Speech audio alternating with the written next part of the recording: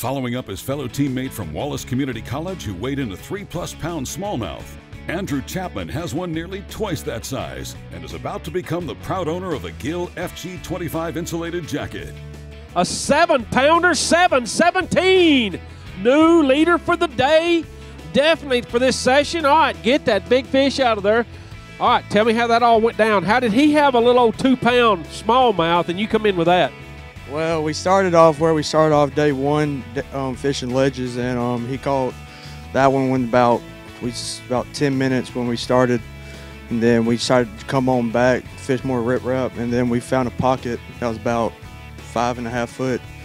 I was throwing a U-Vibe speed worm, and I was gently rolling across the bottom. That's just how it took. Thought it was a log,